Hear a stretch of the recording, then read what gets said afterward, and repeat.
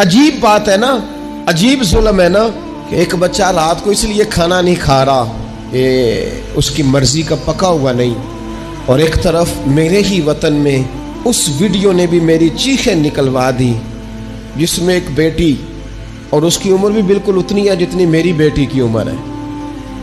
उससे वो साफ़ ही पूछता है, पाँव उसके नंगे हैं और पाँव पे कीड़े चढ़ रहे हैं। पानी जो चारों जानब है। तो उससे पूछता है, पुत्र, क्या चाहिए?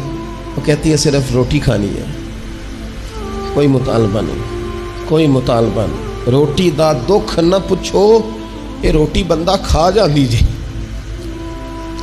रोटी बंदा खा जाती। तो वो सोसाइटी किस तरह सुकून पाएगी कि जो अपने बच्चों के लिए तो हर रोज रंग बिरंगी चीज़ें खरीद के लाए और बिल्कुल उनके पाँच सात घंटे के फासले पर वो लोग भी मौजूद हों जो कहें, सिर्फ़ एक टाइम रोटी मिल जाए।